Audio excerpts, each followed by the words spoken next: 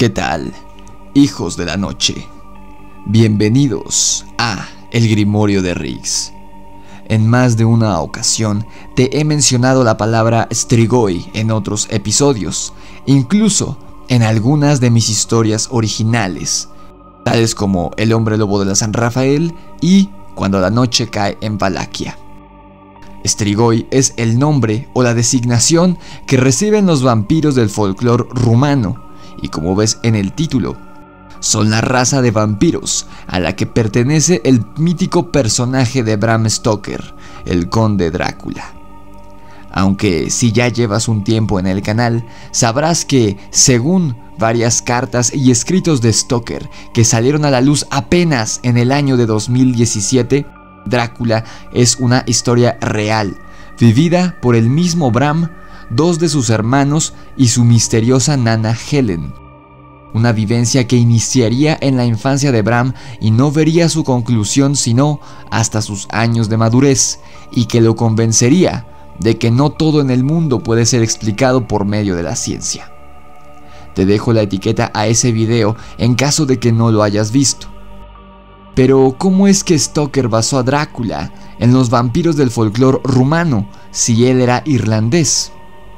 Bueno, es que supuestamente este vampiro real que él conoció en el que basaría al conde, era un conde que había nacido y vivió durante siglos en la península balcánica, específicamente en Rumania, ya que esta era su nacionalidad.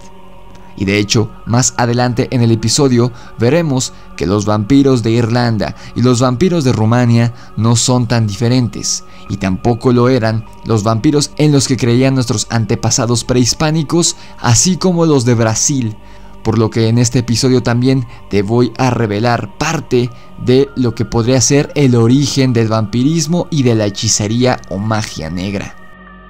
Así que no pierdas detalle, porque en este episodio revelaremos varios secretos, no solo sobre el vampirismo, sino sobre otros mitos como la licantropía y la magia negra, como te dije. Así que el Drácula de la vida real que cruzó caminos con la familia Stoker, al igual que su homónimo ficticio, era un Strigoi. De hecho, este episodio fungirá como secuela tanto para ese video como para el que subí hace poco, sobre la verdadera entrevista con el vampiro que llevó a cabo el fallecido Juan Ramón Sáenz en el programa de radio Exhalofrío hace unos años, pues parece explicar varias incógnitas de ambos casos, que nada tiene que ver en tiempo ni en espacio de sus hechos, ya que la vivencia de Bram Stoker tiene más de 100 años y esta entrevista en Exhalofrío apenas ocurrió hace menos de 10 no nos embrollemos y conozcamos más sobre esta raza de hematófagos rumano que, al parecer, son reales. Sujeta bien tu collar de ajos, tus flores blancas y tu crucifijo. Comencemos. Rumania, lugar que alberga imágenes de castillos en ruinas y altos riscos envueltos en la niebla de Europa Oriental, bosques extensos y oscuros, plagados de lobos y toda suerte de horrores inenarrables, es también cuna del mito de vampiros más famoso del mundo. Pues, como hemos visto en pasados episodios, los vampiros existen en varias partes del mundo, pero casi todos, a pesar de que son extremadamente similares, presentan características, habilidades y debilidades diferentes, siendo la mayor constante, obviamente, que beben sangre aunque también comparten muchos otros rasgos conductuales e incluso de su aspecto físico, así como las formas en las que pueden transformarse en vampiros. Como en muchas otras culturas, en el folclore rumano está arraigada la idea de muertos que vuelven de la tumba, quienes llevaron una existencia vil o cometieron pecados oscuros, como lo pueden ser la brujería, no son admitidos en el paraíso y son condenados a vagar en el mundo de los vivos para siempre. Quienes practicaron las artes oscuras quedarían sujetos a anhelos y deseos antinaturales, como puede ser el gusto por la sangre, en particular de animales, pero no limitándose a beber la sangre de humanos.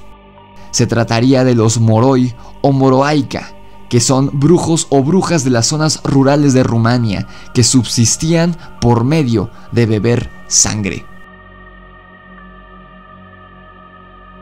Esta imagen de brujos o chamanes que viven en el campo, seguramente en condiciones de pobreza y de eremitismo, es decir, que vivían como ermitaños en aislamiento del resto de la población, no cuadra con la imagen de nobles millonarios que beben sangre y habitan en enormes castillos que conocemos. Pues podría ser que el Drácula con el que convivió Bram Stoker y en el que posteriormente basaría su novela haya aprendido de alguno de estos brujos contratado como cuidador del pequeño noble. También podría tratarse de un brujo campesino que, debido a que contaba con todo el tiempo del mundo y debido a que no sufría los mismos dolores y penas que un ser humano normal, haya aprovechado esto para hacerse de dinero y convertirse en un noble adinerado con el pasar de las décadas. La palabra moroi significa bruja o hechicero de magia negra, es decir, una persona que vendió su alma al maligno a cambio de poder mundano, por lo regular en el plano físico. Son fáciles de descubrir porque los hombres que sufren de esta condición, o mejor dicho, que practican esto, son palidísimos y casi calvos parecidos a la versión de Nosferatu de F.W. Murnau y en el que se basaría casi 70 años después Stephen King en su novela El misterio de Salem Slot, que sería adaptada más tarde a la televisión. Incluso Drácula, en su forma verdadera, al final de la novela, comparte una descripción muy similar, siendo prácticamente una momia viviente, ya que no sería más que un hombre extremadamente anciano cuya vida pendía de un hilo. Nada que ver con la imagen seductora de los vampiros guapos que el cine deformó desde la época de Bela Lugosi. El vampiro europeo, en el folclore, jamás fue visto como un ser hermoso ni seductor, sino todo lo contrario. Era un ser asqueroso, entre humano y animal, ya que representaba todo lo sacrilegio esa imagen de conde apuesto y joven es una deformación hollywoodense, y lejos de lo que los más jóvenes en la audiencia podrían creer, Crepúsculo no fue la primera película en plantar esta idea errónea. Por su parte, las Moroi mujeres o las brujas vampíricas son rubicundas y tienen labios rojos y carnosos. Se cree que los moroi pueden asumir la forma animal que deseen, en particular la de pájaro o de polilla. Bajo este disfraz recorrían el país causando daños a sus vecinos y se dice que aún todavía lo hacen algunos. Pueden desprender también su espíritu de su cuerpo y ser invisibles mientras su forma física duerme, para causar desastres en la región, contagiar enfermedades o atacar a las personas dormidas. O sea, que estos brujos rumanos bebedores de sangre podían contar con la habilidad de desdoblamiento, es decir, de separar su espíritu de su cuerpo, algo así como un viaje astral. Sin embargo, también están sujetos a los padecimientos de los seres humanos y pueden ser asesinados, aunque con ello se corre el riesgo de convertirlos en algo peor, mucho más poderoso, y por ende más difícil de vencer por la vía física. Hasta ahora, la visión más antigua de los Moroi o brujos vampiros de Rumania no dista mucho de la imagen de los vampiros latinoamericanos como la Tlahuelpuchi de México o el Lobishome de Brasil. Es decir, humanos comunes y corrientes, completamente mortales, que practicaban la brujería para andar como animales por las noches y beber sangre. Hace poco leí el libro de Enoch, ya que muchos de ustedes me han pedido que hable de ese texto apócrifo, es decir, excluido de la Biblia católica. En él me topé con la sentencia de Enoch, en la que dice que los vigilantes, que eran una suerte de ángeles rebeldes que fueron designados por Dios para vigilar, como dice su nombre, a los seres humanos de la antigüedad, anteriores al diluvio universal, pero en vez de eso terminaron procreando una raza de gigantes con las mujeres humanas, denominados Nephilim, de los cuales ya tengo un video y te dejo por aquí la etiqueta para que vayas a verlo. Pero lo interesante de este tema es que el mayor crimen de estos vigilantes no fue procrear con las mujeres humanas a estos Nefilim ante los ojos de Dios, sino que lo peor que hicieron fue revelar las artes de la guerra, de la agricultura, la astronomía y de la hechicería y la brujería a los seres humanos, haciendo que estos se volvieran depravados gracias a todo este conocimiento que les fue entregado, se puede decir, de manera gratuita, sin que ellos tuvieran que esforzarse para adquirirla. Quizá estos seres, estos vigilantes que envió Dios para vigilar a los seres humanos, no eran ángeles, pues cabe mencionar que el término en el libro de Enoch es, de hecho, bastante escueto y libre a la interpretación. Solo se da a entender que sí son superiores al ser humano, pero inferiores a Dios. Pero si no eran ángeles, ¿qué tal si eran seres superiores a nosotros, de otra dimensión o de otro plano? Y fueron ellos quienes, en efecto, enseñaron a los primeros humanos estas artes de brujería, y este conocimiento ha sobrevivido hasta nuestros días y es practicado alrededor de todo el mundo por magos, brujas y chamanes. Esta sería la razón de por qué en distintas partes del mundo, en culturas que vieron la luz en distintos tiempos y en distintos lugares y que jamás interactuaron entre sí, hablan de hombres que se transforman en bestias y en vampiros por medio de encantamientos. ¿Qué tal que estos vigilantes enseñaron las artes de la licantropía, el vampirismo y otras brujerías a los seres humanos de la antigüedad y se siguen practicando hasta la fecha. Terrorífico, sin duda, pues nos hablaría de que los orígenes de esta magia no vienen de este mundo, sino de otro, al que nosotros no comprendemos. Pero ya hablaré del libro de Enoch en otro episodio. Volvamos al tema que nos reúne hoy. ¿Cuáles son las características de un Strigoi?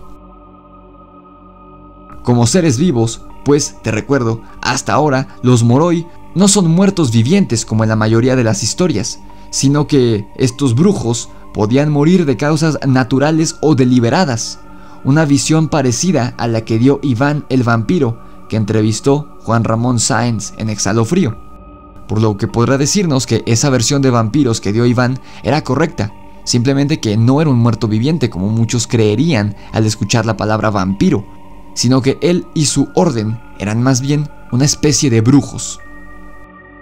Entonces sí, una vez que habían muerto, los moroi se convertían en estrigoi, o sea, que morían como brujos humanos con habilidades sobrenaturales, pero una vez estando muertos, se levantaban de la tumba como seres sobrenaturales, inhumanos e inmortales como el conde Drácula y otras versiones similares. Los Strigoi eran muertos vivientes, cadáveres sin reposo y cuyo único motor era hacer el mal. Como la humanidad los había abandonado, eran ahora enemigos implacables de la raza humana. Su nombre, Strigoi, tiene su etimología en la palabra striges, de la antigua Roma, que eran unas brujas, brujas humanas no muertas vivientes, que se desplazaban de noche tomando la forma de pájaros o híbridos de humano con pájaro, propagando males por las comunidades de Lacio. Aberrantemente similar al mito de las brujas que toman forma de aves humanoides para beber sangre en México y las lachuzas o bird women de Texas, ¿no crees? Era inevitable que un moroi se convirtiera en estrigoi al morir, pues esto era una especie de penitencia que el alma del brujo debía pagar, no encontrando el descanso eterno una vez que había muerto. Pero a veces, un cadáver se podía convertir en estrigoi por derecho propio y regresaba de la muerte para acosar a los vivos. Por ejemplo, si una sombra se proyectaba sobre un ataúd abierto, si la persona no era sepultada con los ritos apropiados, o si el sujeto se había suicidado, o incluso si alguna criatura, un animal, caminaba sobre la tumba por las noches. Los estrigoi pueden beber sangre, pero prefieren extraer las energías de una persona mediante una especie de ósmosis que la deja débil y enfermiza, como vemos en la novela de Drácula. Los Strigoi propagan enfermedades, yendo de casa en casa, y dejan a su paso muerte y desolación. Como último recurso, beben sangre, pero solo beben la sangre de familiares o conocidos de ellos, es decir, de miembros cercanos de su comunidad o de su clan vampírico. Esto, de hecho, también coincide con lo que dijo Iván el vampiro en Exhalofrío durante su entrevista con Juan Ramón.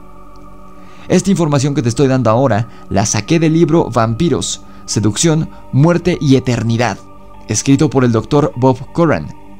Así que, o Iván había leído ampliamente sobre el tema del vampirismo, o en efecto, era un vampiro real. Cuando los Strigoi vagaban por las calles nocturnas era fácil descubrirlos. A diferencia de lo que vemos en las películas, se movían lentamente, como sonámbulos, y llevaban el ojo derecho cerrado, mientras que el izquierdo estaba siempre abierto, sin parpadear y enrojecido, quizá por la misma razón. Mostraban una complexión saludable y el cabello se tornaba rojizo una vez que se habían convertido en estrigois. En la tumba, su cuerpo no se corrompía, ni dejaban de crecer las uñas ni el cabello. A veces las criaturas se inflaban y se abotagaban de la sangre que bebían había métodos para localizar la sepultura de un estrigoi.